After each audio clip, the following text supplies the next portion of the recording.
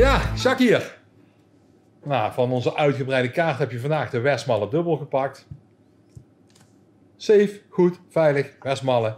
Betrouwbare Trappissenbrouwerij. Een van de Trappissenbrouwerijen uit België. De dubbel.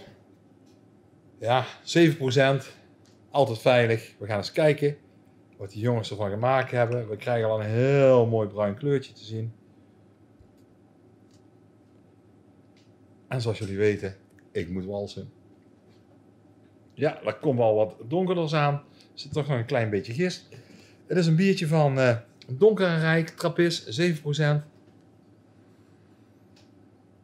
Weinig echte sprankelende geuren. Misschien is hij nog iets te koud. Drink hem niet te koud, een graadje of 8, 9. Er zitten waarschijnlijk hele volle smaken in.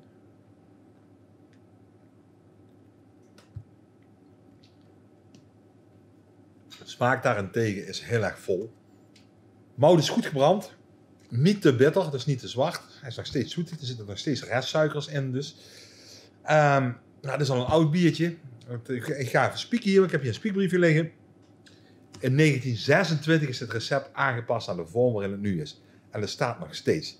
Dus ja, dat is al bijna 100 jaar oud. Dus wie kan dit bestrijden?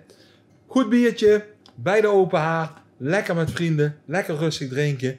Mooi begin van een biermenu. Aanrader. Westmalle dubbel. I love it. You too? Let me know.